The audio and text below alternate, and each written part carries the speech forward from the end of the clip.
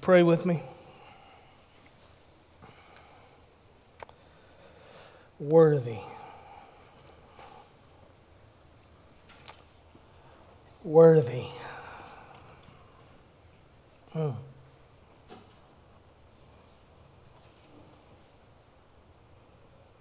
Lord, while we are so oftentimes worthless, we are reminded that you are worthy. Worthy is the Lamb. Amen. Today we are in Job chapter 3. If you have your Bibles, and I have a strong suspicion that we don't need a fancy story or cute illustration to begin with today, because we can all very easily relate to what it feels like to be broken. Let me just ask you, by show of hands, how many of you at some point, at some time, in some way or another, in your life have ever felt crushed or ever felt like you were at the end of your rope, totally broken and shattered? Anybody else or just me? That's what I thought. Your story won't be the same as Job's. Your story, if we took time to hear them all, wouldn't be the same as mine. But we all know what it's like to be broken, to feel crushed. Let me start with the good news this morning. You made it. You're still here. Amen. Tell somebody sitting next to you, you made it. Amen. You made it. And can I just tell you, Job's going to make it too? He's going to make it. But in Job chapter 3, he's not real sure. It probably doesn't feel like, here in Job 3, Job probably doesn't feel like he's going to make it. And, and here in Job's text, in this text we call the book of Job, we're making a transition in chapter 3. It's here we start to see the brokenness of Job bubbling up and coming to the surface. We start to feel the desperation in his life, the desperation that is setting in. For those of you who haven't been with us for the first five sermons in this series, let me just quickly remind you of who Job is and what he's been through. Job had 10 grown children. He was a rich man, a respected man. He was, more importantly, even than all of those things, a righteous man of God. In verse 3 of chapter 1, it says that his, uh, his estate included 7,000 sheep and goats, 3,000 camels, 500 yoke of oxen, 500 female donkeys, and a very large number of servants. And then here's the most important part it says, Job was the greatest man among all the people of the East. He was a righteous man, a good man. And then in a single day, he loses everything. The devil is working against Job. He takes everything from him, including his 10 children, who all die at the same time on the same day that he loses everything else in his life. It's absolutely devastating news, it's crushing news. And the Bible tells us that Job's initial response, we read it in verse 20 of chapter 1, is this It says, Then Job stood up when he heard all of this, he tore his robe, he shaved his head, he wanted to look like me, I guess. He fell to the ground, and it says this he worshiped, saying, Naked I came from my mother's womb, and naked I will leave this life. He said, The Lord gives, and the Lord takes away. Blessed be the name of the Lord. And it says, throughout all of this, Job did not sin, and he did not blame God for anything. Unfortunately, this isn't where the, the trial of Job ends. It gets even worse in chapter 2, as we discovered. Because up to this point, at the end of chapter 1, Job has lost everything, but he's still healthy. In Job chapter 2, the Bible says, starting in verse 7, that Satan left the Lord's presence and infected Job with terrible boils from the soles of his feet to the top of his head. And then Job took a piece of broken pottery to scrape himself while he sat among the ashes. Last week we talked about Job's three friends who show up on the scene who arrive at the end of chapter 2 in an effort to comfort and help and sympathize with their friend. And when they arrived, they, they could not even recognize their friend due to the poor condition of his physical health. In verse 13, it says, for example, then they sat on the ground with him seven days and nights, but no one spoke a word to him because they saw that his suffering was very intense. Job is crushed, broken, physically, mentally, emotionally, spiritually, in every possible way you can imagine. Job's life feels like chaos. It feels like it's, it's a, just one big catastrophe. So, for an entire week, these friends, they sit with Job in silence. And this is where we pick up today in chapter 3. This chapter leads us into the conversations that take place throughout the remaining, or most of the remaining book of Job. Conversations between Job and his three friends, who will each take turns speaking, and Job will take turns replying to each of them. And his words here are much different. His words in chapter 3, as Job begins to speak, are much different than what we heard last time we heard from Job, where Job was saying things like, Blessed be the name of the Lord. Or in Job chapter 2, verse 10, where he said, Should we accept only good from God and not adversity? Where he's at least dealing with this on some level. In chapter 3, we find a broken man and yet a man who remains unwaveringly faithful to God, even in his brokenness. We also find what I believe we might term or call the blessings of brokenness. It's easy when we're in a state of brokenness to think that it's all bad. But can I just tell you, church, there are some blessings inside of our brokenness that we often miss because the brokenness is so great. And I'm not sure Job saw these in his life originally, but we can see them because we have hindsight and we can unpack this and we have a full picture. And, and my prayer is this my prayer is, is that because we just raised our hands a moment ago and we've all been broken and we'll probably be broken again before this life is over. My prayer is, is that if we take a little time to examine this, maybe next time we're in a state of brokenness, we'll see the blessings there. Let's read a little bit of Job's story. Job 3 starting in verse 1. It says, After this, after those seven days of silence with his friends, it says, Job began to speak, and he cursed the day he was born. He said, May the day I was born perish, and the night that said, A boy is conceived. If only that day had turned to darkness. May God above not care about it or light shine on it. May darkness and gloom reclaim it, and a cloud settle over it. May what darkens the day terrify it. If only darkness had taken that night away. May it not appear among the days of the year be listed in the calendar. Yes, may that night be barren. May no joyful shout be heard in it. Do you hear the brokenness of this man? Jump down to verse 24, towards the end of the chapter, where Job says this He says, I sigh when food is put before me, and my groans pour out like water, for the thing I feared has overtaken me, and what I dreaded has happened to me. I cannot relax or be calm. I have no rest, for turmoil has come. In Job's story of brokenness here, we're reminded of this truth, this big idea, if you will. You might be broken, but if you're a believer, a disciple, a follower of God, as Job was, you might be broken, but you cannot be beaten. You might be broken, but you cannot be beaten if you are one of God's children. I want you to see inside of this chapter 3 of Job's story the blessings of brokenness with me today. Number one is this first point is this we, we have to see this brokenness is common, it's everywhere. So many times we convince ourselves that what we're going through is unique. and we're the only one who's ever been broken, that we're the only one who's ever struggled, that we're the only one who's ever suffered, that we're the only one who has ever faced this kind of adversity, whatever it might be.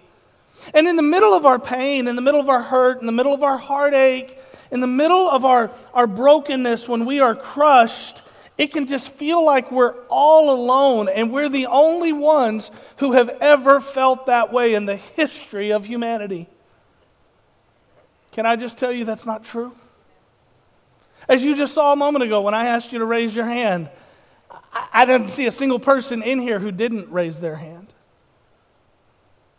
We've all felt crushed. We've all felt broken. We've all been there because brokenness is a part of this life. It's a part of this life due to sin. It's a part of the world we live in due to sin. Sin, that's what it produces. It produces brokenness.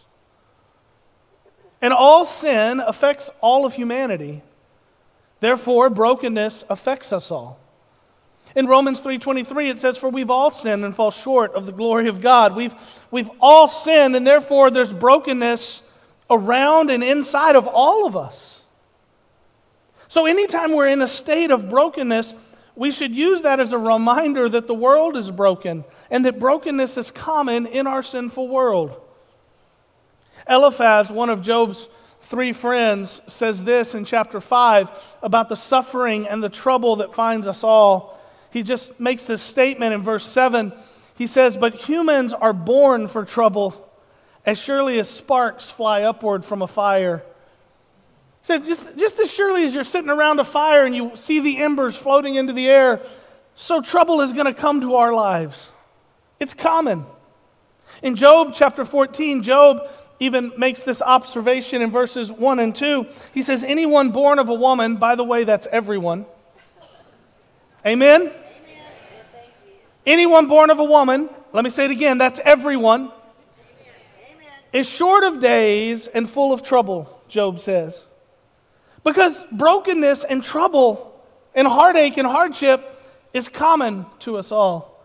He goes on in verse 2 and he says, He blossoms like a flower, then withers. He flees like a shadow and does not last. The psalmist knew this to be true. We could quote countless psalms that recount this same idea, but just for the sake of time, I'll just give you Psalm 34, 17, and 18. The righteous cry out, the Lord hears and rescues them from all their troubles. Look at verse 18. The Lord is near the brokenhearted, and he saves those, saves those who are crushed in spirit.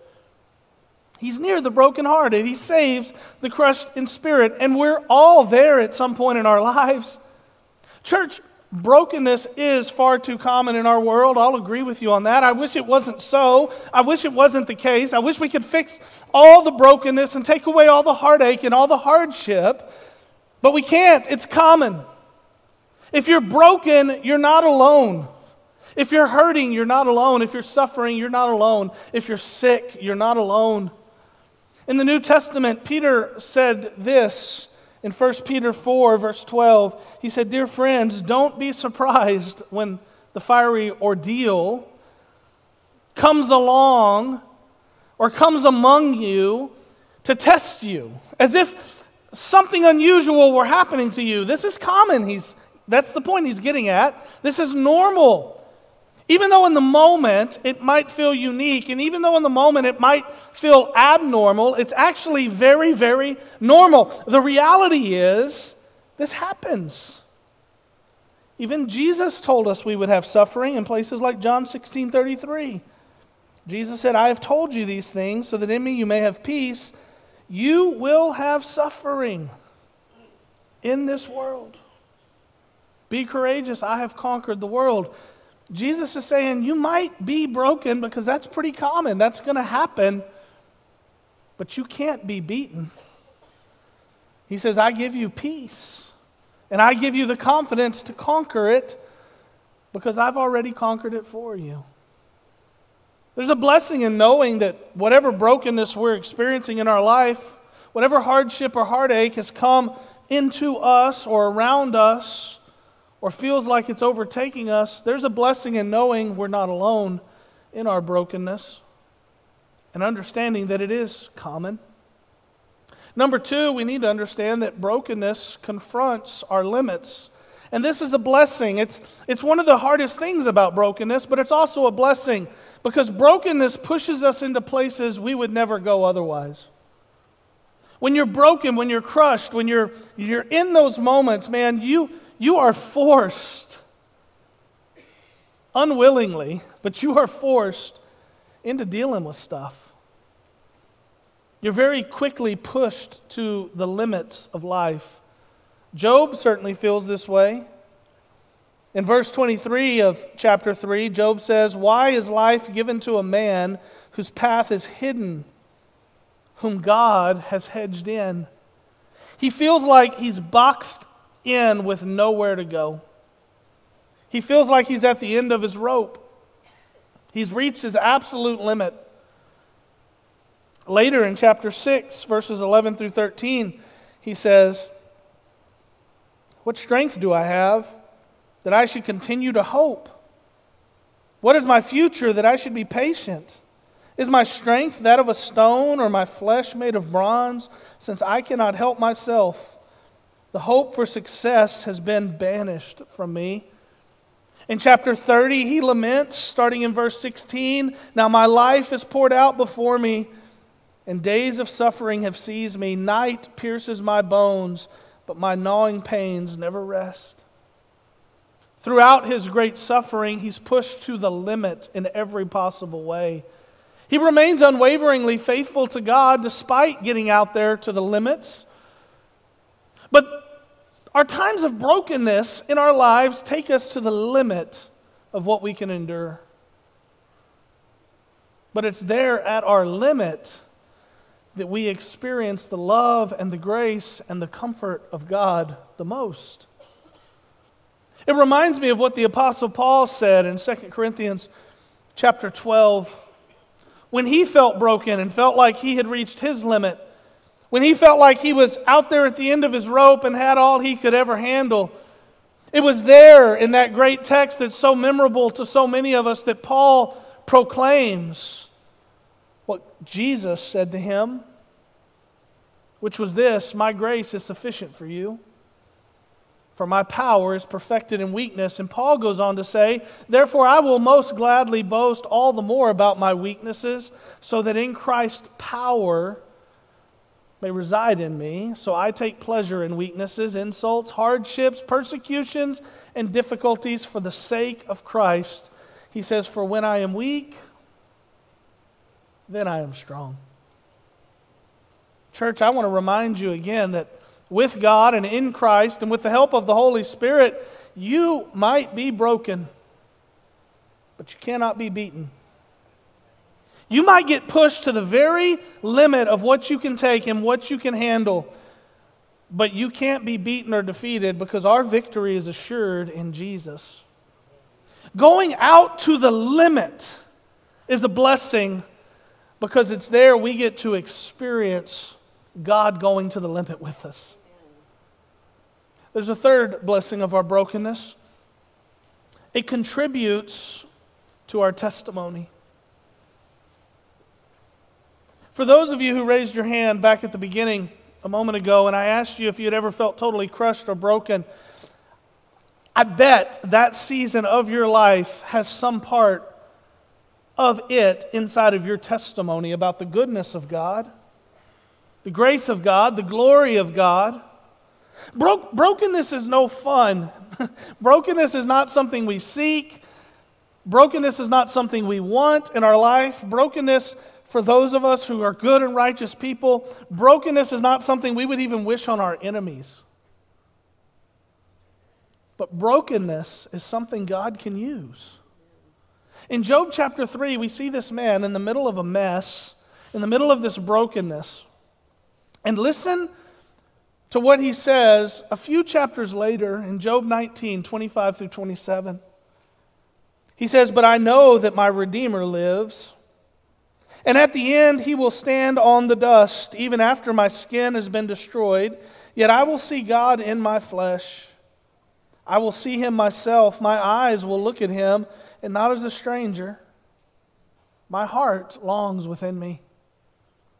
This time of sorrow, this time of sadness, this time of pain and hardship and brokenness leads Job to a place where he's able to share a testimony of hope, a testimony of love, a testimony of the goodness and the grace and the mercy of God. Don't ever forget that the first four letters of testimony are test. I love what Paul says in 2 Corinthians chapter 1 verses 3 through 7. He says, "Blessed be the God and Father of our Lord Jesus Christ, the Father of mercies, the God of all comfort." Verse 4, he comforts us in all our affliction so that we may be able to comfort those who are in any kind of affliction through the comfort we ourselves receive from God. For just as the sufferings of Christ overflow to us, so also through Christ our comfort overflows. If we are afflicted, it is for your comfort and salvation. If we are comforted, it is for your comfort, which produces in you patient endurance in the same sufferings that we suffer. And our hope for you is firm because we know that as you share in the sufferings, you will also share in the comfort. See, God can use your time and your season of brokenness to comfort someone else through your testimony.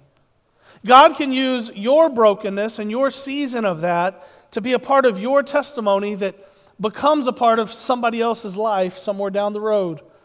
In fact, I bet that during your time of brokenness, that time you thought of a moment ago when you said, Yeah, that's me, I'm with you, I- have been broken. I bet somebody came along in that time and shared part of their testimony with you to encourage you, didn't they? I bet somewhere in that story, somebody came along and said, Hey, you know what? I went through something like that one time. And I remember this is how I got through it, or this is what helped me. God used their brokenness to help you in the midst of yours, and God now can use your brokenness to help somebody else in the midst of theirs. Even in our brokenness, there can be a purpose. Even in our brokenness, there can be a blessing. Even in our brokenness, we can be used by God. It reminds me of the saints that are mentioned in Revelation chapter 12. These brothers and sisters, my friends, Oh, mm, they are going to be pushed to the limit in the last days. But I want you to see what this text says. Look and see what this text says about them and their test and their brokenness and what they're going to go through. It says in Revelation 12, 9 through 11 So the great dragon was thrown out, the ancient serpent who is called the devil and Satan the one who deceives the whole world. He was thrown to the earth, and his angels with him. Then I heard a loud voice in heaven say, The salvation and the power and the kingdom of our God and the authority of his Christ have now come. Because the accuser of our brothers and sisters, who accuses them before our God day and night, has been thrown down. And then look at verse 11. It says, They conquered him by the blood of the Lamb and by the word of their what? Testimony. They conquered him by the blood of the Lamb and by the word of their testimony, for they did not love their lives to the point of death. You see, church, the bigger the test, the stronger the testimony. Your brokenness and my brokenness will not feel like a blessing to us in the midst of it. I get that. I'm not saying it will. But don't ever discount how God might use your brokenness in the life of somebody else. Here's another thing that happens. Point number four our brokenness clarifies our priorities. When life is going good, when everything is right, when everything is just cruising along, it's easy to get your priorities mixed up. Amen? That's when we get mixed up. That, that's when we start doing things we shouldn't. That's when we start living the way we shouldn't. That's when we start spending money on things we shouldn't. When, when everything is going right, that's when so many times we get it wrong. But when things get hard, when things get tough, when suffering comes, when brokenness sets in, our priorities get really focused really fast, don't they? We see this start to happen in Job's life just after he loses everything in Job chapter 1. His priorities, all of a sudden, they, they just come into focus. In verse 20, it says Then Job stood up, tore his robe, shaved his head, fell to the ground, and worshiped, saying, Naked I came from my mother's womb, and naked I will leave this life. He said, The Lord gives and the Lord takes away. Blessed be the name of the Lord. His priorities were all of a sudden just brought into perfect clarity for him. In the middle of his brokenness, he is convicted of what really matters in his life. We see him uh, address it again in places like Job 31, 24 through 28 where he says, If I place my confidence in gold, or called fine gold my trust, if I have rejoiced because my wealth is great, or because my own hand has acquired so much, if I have gazed at the sun when it was shining, or at the moon moving in splendor, so that my heart was secretly enticed, and I threw them a kiss, this also would be an iniquity deserving punishment, for I would have denied God above. See, Job seems to have had his priorities in order even before his brokenness came. He says, Even before I was broken, I wasn't trusting in my gold. I wasn't trusting in my flocks. I wasn't trusting in my servants. I, I wasn't worshiping the sun or the moon. I didn't do any of that. But it's here in the middle of his suffering as he's reflecting on everything in his life, his priorities and choices come into even clearer focus. Things are very clear for him in the middle of the chaos, in the middle of the brokenness. Church, we need to make sure that our priorities are right before we're broken. That, that's always best. We should get our priorities right every day of our life. We shouldn't wait around until we go through a season of brokenness or a season of suffering to start getting things right in our life. Remember, we, we started this whole series by saying Job had everything right before everything went wrong. That's good of Job, but things still went wrong. And even in the middle of his brokenness and in the middle of it going wrong, he's able to clarify down even more into what really matters. The New Testament says this about how we should think about our priorities in life. Colossians 3 1 through 4 is an example of it. So if you have been raised with Christ, this is for believers, disciples, people who worship the living God, who believe he is the worthy Lamb.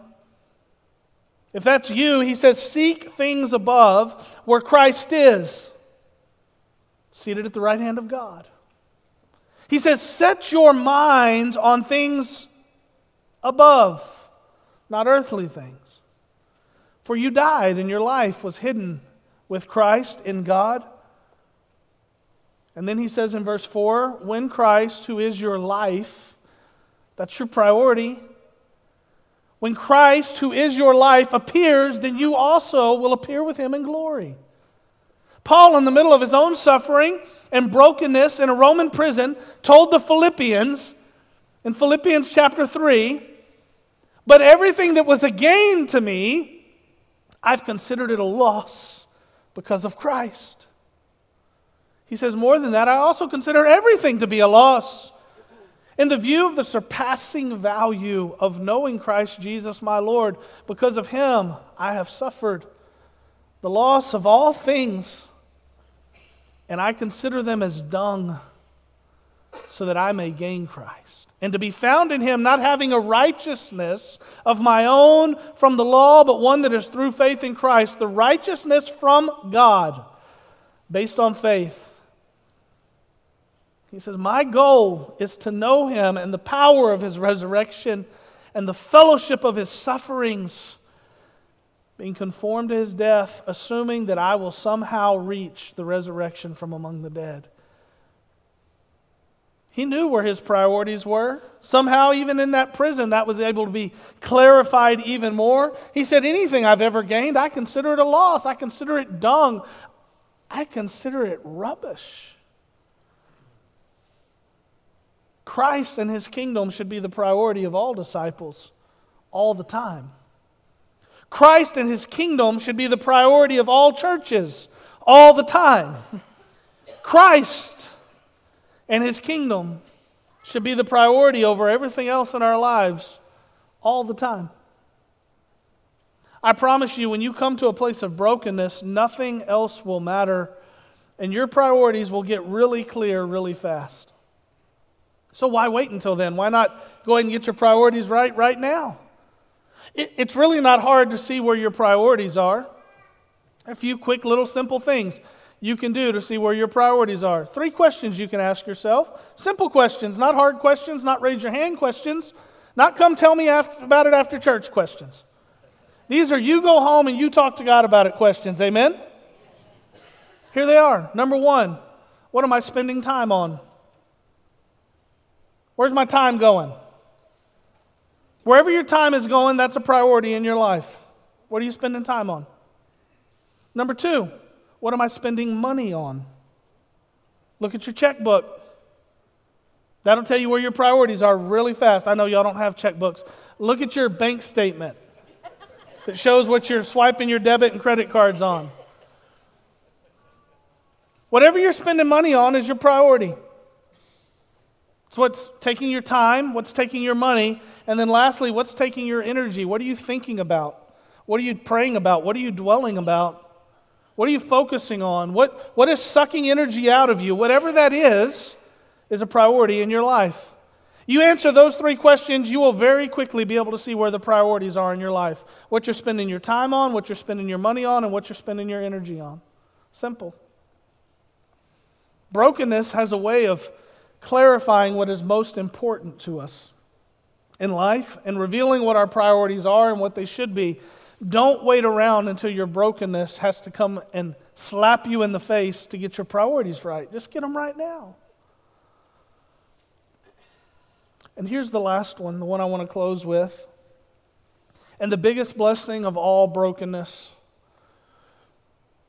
You see, brokenness is a, a blessing because brokenness connects us to Christ.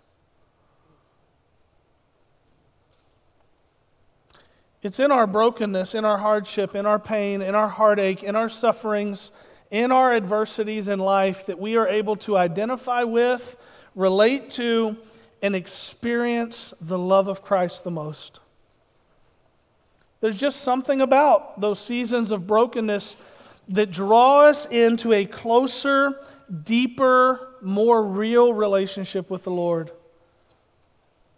We can't deny that Job is broken in chapter 3, but look at what he says in chapter 13.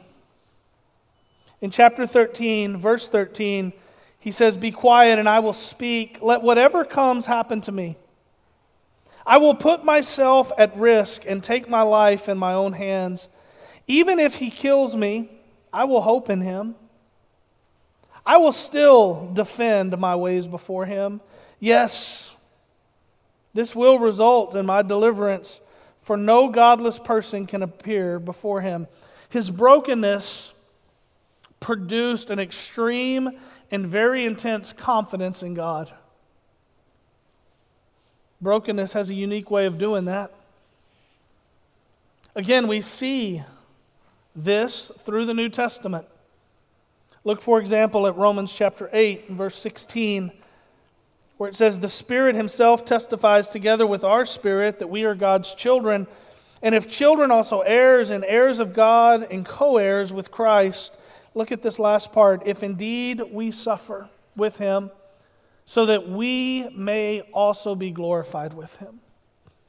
There's something about suffering and brokenness that connects us to Christ. We suffer with Him and will be glorified with Him, Paul says. To the Philippians, he wrote this in chapter 1, verse 29 For it has been granted to you on Christ's behalf not only to believe in him, but also to suffer for him. Church, have you ever heard that before?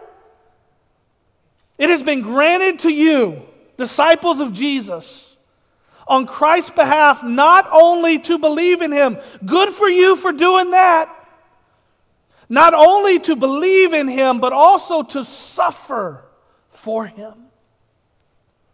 Since you are engaged, he says, in the same struggle that you saw I had, and now hear that I have. It's common where we started today, right? Struggle, suffering, hardship, persecution, difficulties, chaos, brokenness, adversity. It's common, it's everywhere. And you know what? It connects us to Jesus. It's that very thing that makes our faith so very real and puts us in this deep, meaningful relationship with the Lord. Peter talks about it in 1 Peter 4 12 through 14. Dear friends, don't be surprised when the fiery ordeal comes among you to test you, as if some unusual thing were happening to you. Instead, he says, rejoice. Rejoice as you share in the sufferings of Christ, so that you may also rejoice with great joy when his glory is revealed. If you are ridiculed for the name of Christ, you are blessed because the Spirit of glory and God rests on you. In 1 Peter 5 10 through 11, it says, The God of all grace, who called you to his eternal glory in Christ, will himself restore, establish, strengthen, and support you after you have suffered a little while. To him be dominion forever. Amen. As I mentioned earlier, in a few weeks, we're going to gather together to hear actual testimonies from actual believers just like you and just like me, our brothers and sisters who have been beaten, thrown in prison, watched their loved ones burned. We're going to hear from people who have been run out of their villages, lost everything. We're going to hear people who left their families and lost their families completely. We're going to hear from people who've lost their jobs and any ability to go get a new one because they found Jesus. We're going to hear from people who found themselves in the most desperate moments of life and have experienced a brokenness like you and I probably never will. But you're going to also hear them tell you about how that brokenness brought them closer to the Lord and how it increased their faith in Him.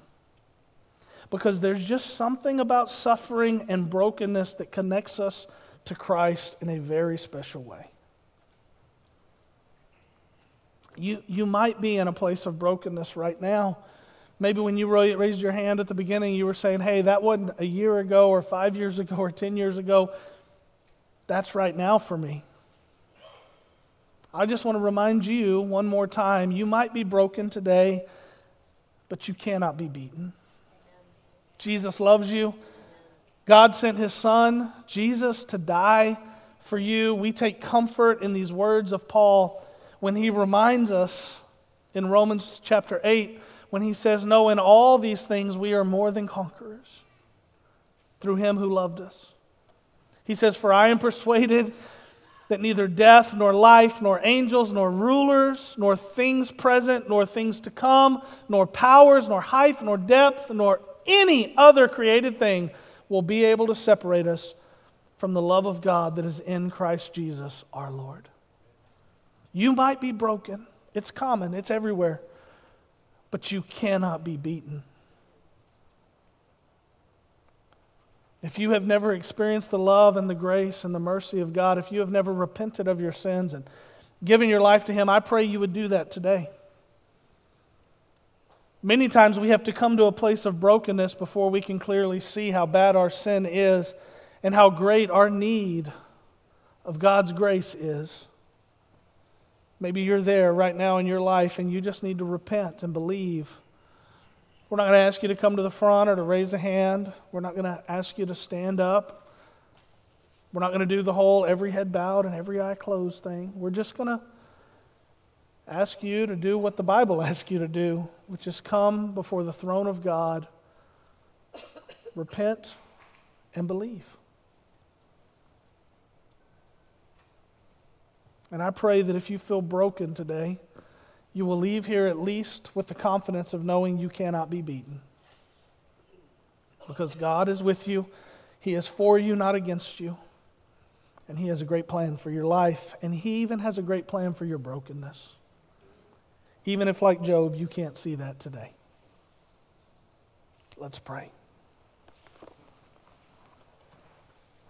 If that's you and you've never called on the Lord for salvation, we invite you to do so right now. Just pray with us there where you are. Just say, Lord, it's me. I confess that I'm a sinner. I know that I've messed things up and gone astray. So I ask now by faith that you would change me from the inside out. Lord, I ask by faith that you would make me new. I ask by faith that you would forgive me and save me. I thank you for your grace and for your goodness. Lord, I thank you for your love and for your mercy.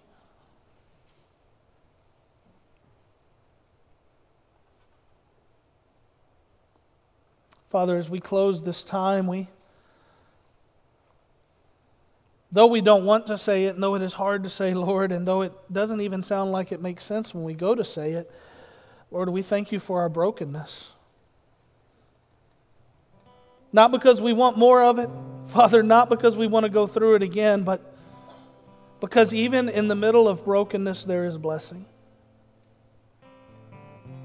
Because you are so worthy and so good and so right and so victorious and so powerful, Lord, that even when we're broken, we cannot be beaten.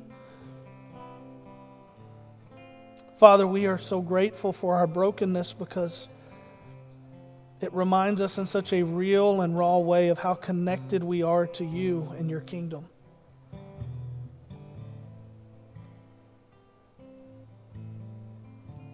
Father, I pray for those who are in a state of brokenness this hour, whether it's a relationship or a marriage or finances, Father, or whether it's something at work or something at home. Maybe it's something inside of them that nobody else can see. Maybe everything on the outside looks perfect, but inside they are just crushed. Lord, I know you can see it. Father, I pray that you would touch it, that you would speak into it. And Father, that you would give them the confidence to know that even here in the middle of this brokenness, they are not beaten because you love them and care for them. Father, we thank you. And we will end now where we began earlier and just say, You are worthy. Worthy is the Lamb who was slain. Worthy is our God on high. Worthy is the King of kings and the Lord of lords, the Prince of peace. Worthy is our Redeemer. worthy.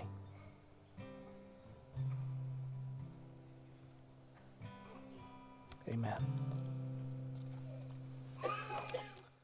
Hey, thanks for joining us here on YouTube or social media uh, for this message. We pray that God uses it to bless your life. If you don't mind, hit the subscribe, the follow, the like, the thumbs up button. Uh, leave an encouraging comment down below. It's so encouraging for us to hear how this is impacting you wherever you may be. And if you have a prayer request, we'd love to pray for you with that as well. You can submit those by going to our website, cowboyfellowship.org. We pray that this blesses you. Thanks for being a part of our online family.